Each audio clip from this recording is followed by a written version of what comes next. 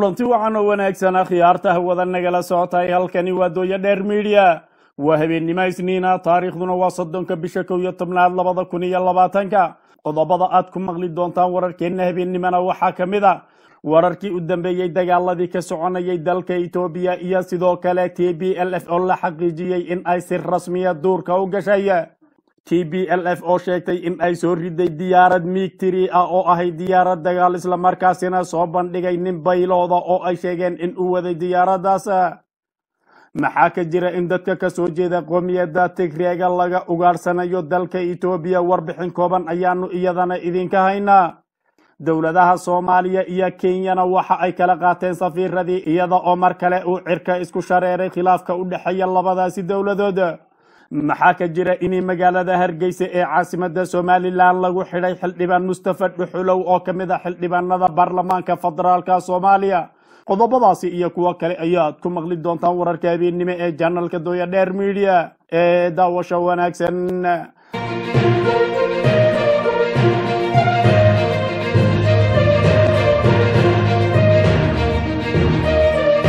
isku soo noqod wanaagsan daawadayaal ku soo dhowaada qodobadaasi aad maqasheen iyo kuwo kale oo faahfaahsan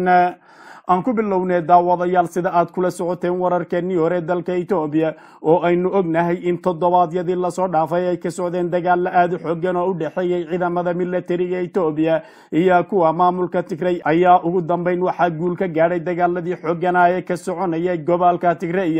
ciidamada huwanta ah ee ay ugu horeeyaan ciidamada milatariga etoobiya oo gacan ka helaya ciidamada dalka eritrea. Dowladda etoobiya ayaa waxa ay la wareegtay magaalada maqale ee caasimada gobolka tigray iyo sidoo kale magaalooyin iyo deegaana ka mid ah gobolkaas.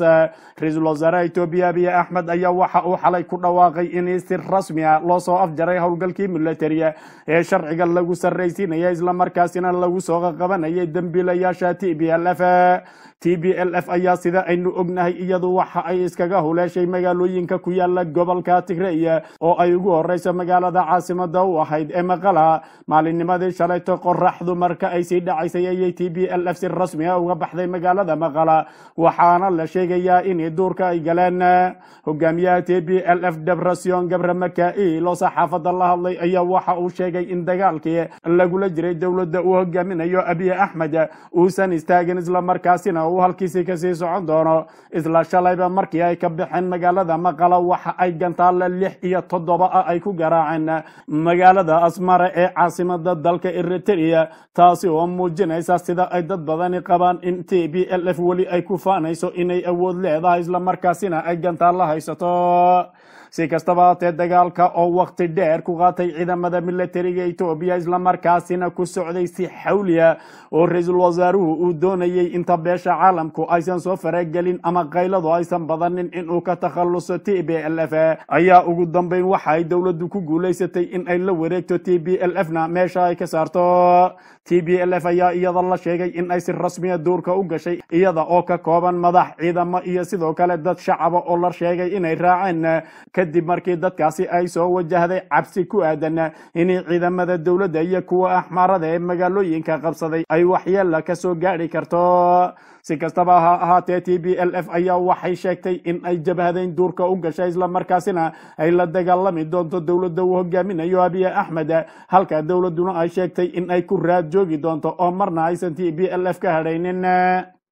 dhanka kale t b l f ayaa waxa ay maanta sheegtay in ay soo riday diyaarad dagaal taasi oo sidoo kalena ay sheegeen in ay gacanta ku hayaan duuliyihii diyaaraddaasi kooxda t b l f ayaa waxa ay sheegeen inay soo rideen diyaarad laga leeyahay dalka etoobiya oo ay ku sheegeen inay ahayd mig islamarkaasina waxa ay t b l f sheegtay in ay gacanta ku dhigtay duuliyihii diyaaraddaas kaasi oo ay sheegeen markii diyaaraddu ay gubanaysay inuu baalashuud ku booday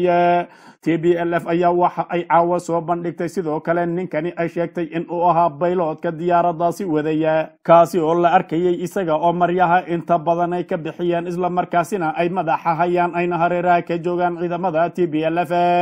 Ciidamada t b l f waxa ay soo bandhigeen muuqaalka duuliyihii ay sheegeen inuu waday diyaarad ay soo rideen oo nooceedu uu ahaa mig saddex jeere hore ayay t b l f sheegtay inay soo rideen diyaarado duqeyme ka geysanaya gobolka tigray waana markii ugu horeysay ee ay soo bandhigto muuqaalo iyo sidoo kale qof ay sheegeen in isaga uu ahaa qofka duuliyaha ka ahaa diyaaradda ay soo rideen dowladda dhexe ee dalka etoobiya iyadu kama aysan hadlin sheegashada t b l f ee ku aadan in ay soo rideen diyaarad nooceedu uu yahay mig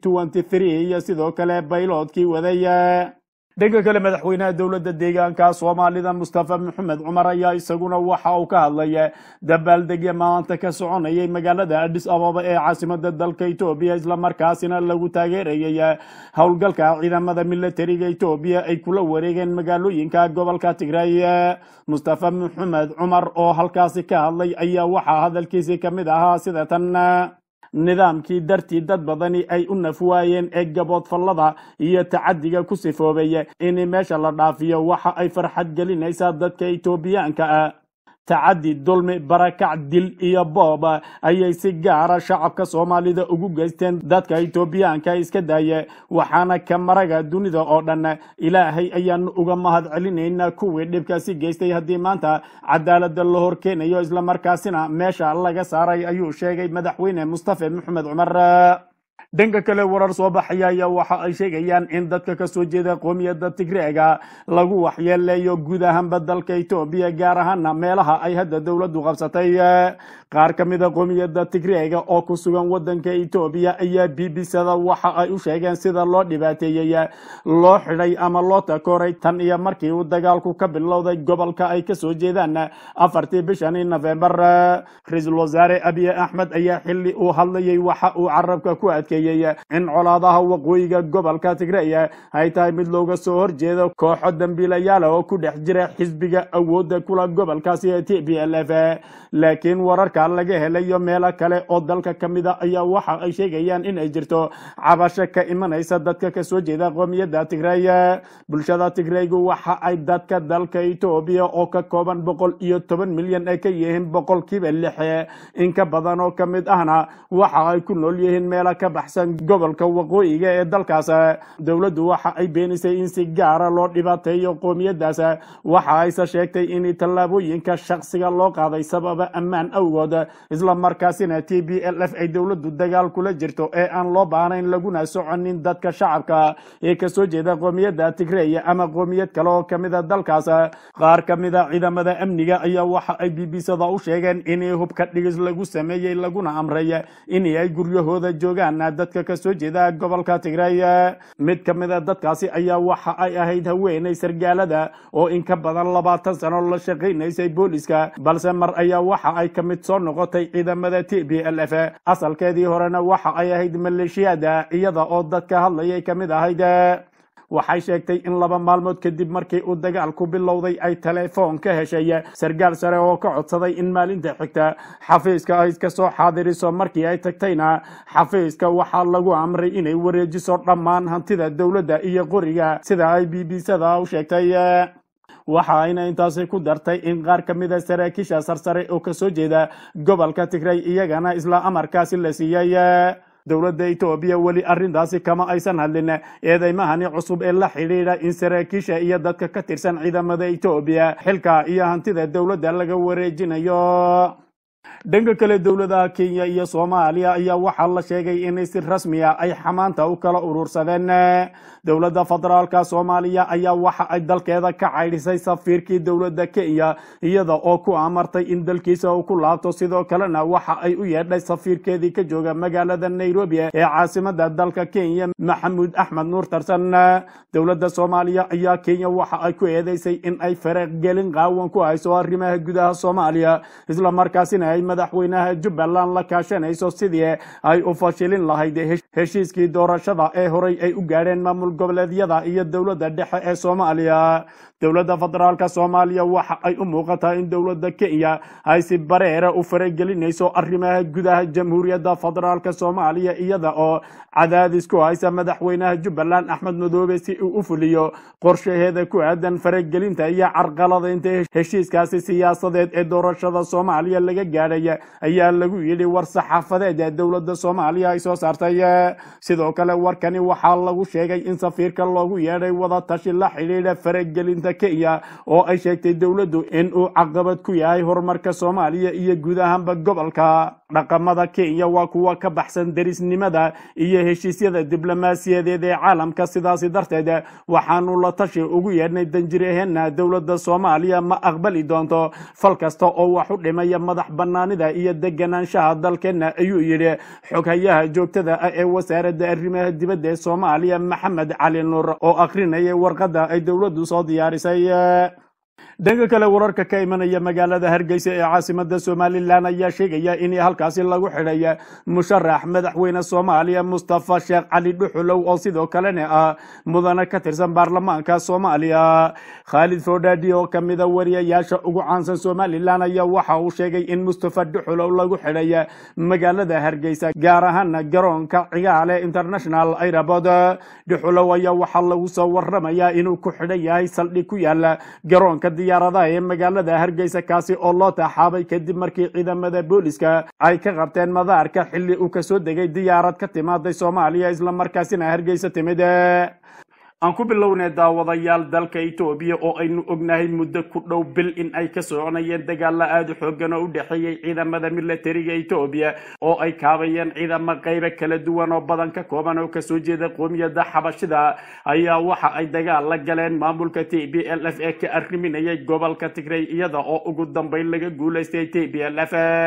maanta ilaa iyo xalayto waxaa ka soconaya dalka etoobiya banaanbaxyo ballaadhan oo lagu taageerayo ciidamada militariga etoobiya guusha ay ka soo hoyeen dagaalkii lagu qaaday t b l f magaalooyin dhowra oo kamida dalka etoobiya oo ay ku jirto magaalada adis ababa iyo sidoo kale magaalooyin dhowra oo ku yaalla gobolka axmaarada. Waxaa ka dhacay banaanbaxyo lagu soo dhoweynayay guusha ciidamada militariga etoobiya banaanbaxyadaasi ayaa waxaa la sheegay in dad ay ku dhinteen meelo kala duwan ilaa iyo saddex meelood magaalooyinka adis ababa bahra daar iyo mid kale oo la sheegay inay ka mid tahay gobolka axmaarada ayaa waxaa la sheegay in ugu yaraan ay ku dhinteen shan qof dadkaasi dhintay ayaa waxaa la sheegayaa in sababta banaanbaxa dadad badan oo isu soo baxaya iyo weliba xabada si aan laga baaraan degin loo ridayay in ay ku dhinteen iyada oo ay jiraan. Sidoo kalena dad isjiray si kastaba haatee maanta waxaa laga dareemayay banaanbax iyo farxad aada u badan qaybo badan oo kamida dalka etoobiya oo ay ugu horeyso magaalada adis ababa iyo magaalooyinka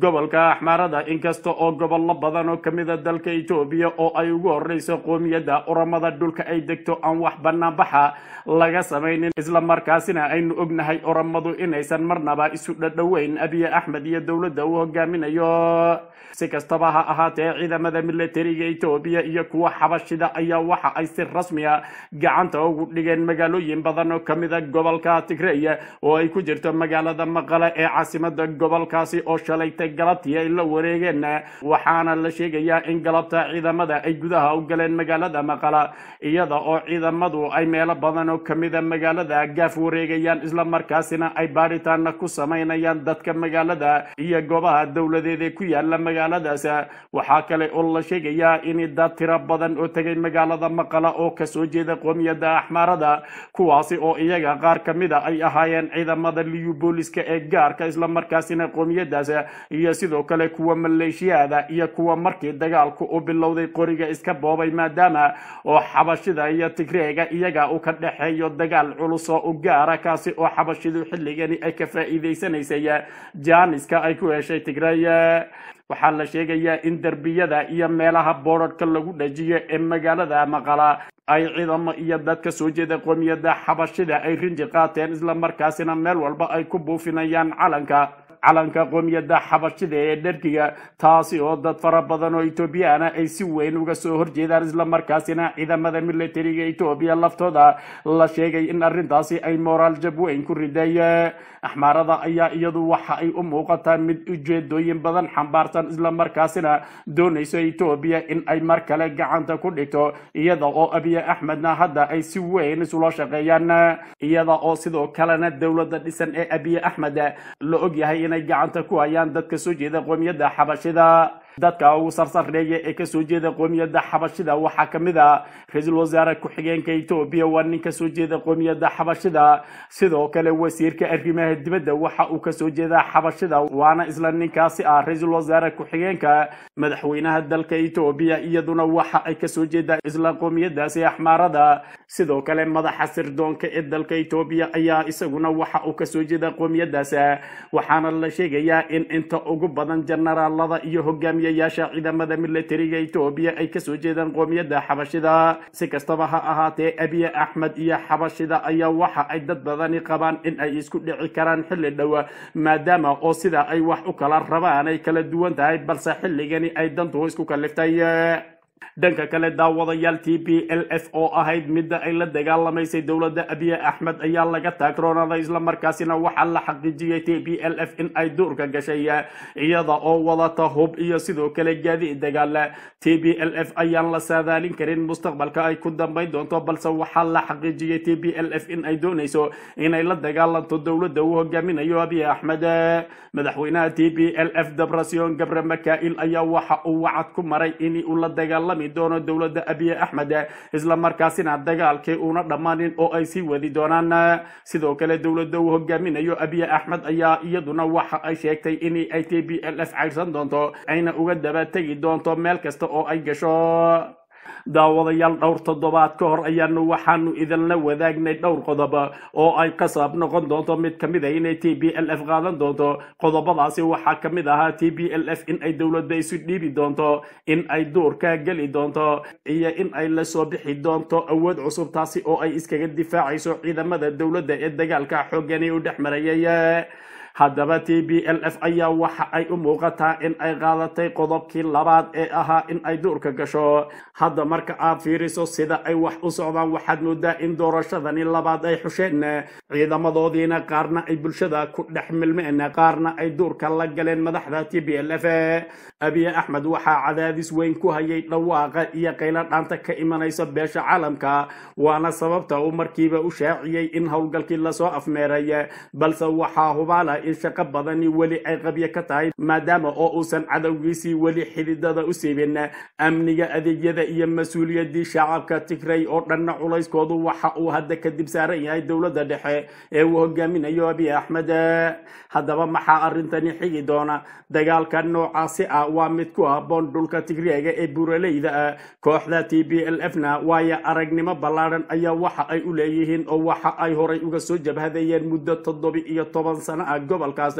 jabhadnimadaasi oo ugu dambayn ay ku qabsadeen gebi ahaanba dalka etoobiya waxaase hor yaalla caqabado badan dhowr arrimood oo dagaalka noocani uu saameyn ku keensan karo. Ayaynu halkani ku eegaynaa hadduu alla idmo kow in xilka oo ay ku raageen darteed marnaba lagama yaabo inay helaan taageero la mid a midii xilligii jabhadnimada dhargiga ay la dagaalamayeen ay helaan sababtoo ah waxa ay ku raageen xilka dalka etoobiya toddoba iyo labaatan sano. Sida caadiga ahna cadow badan ayay xilligani leeyihiin t b l f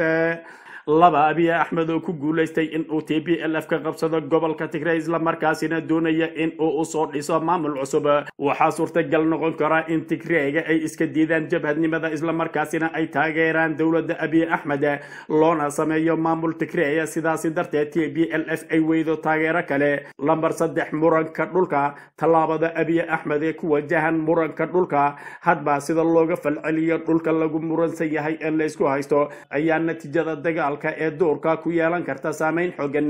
lamber afar xubnaha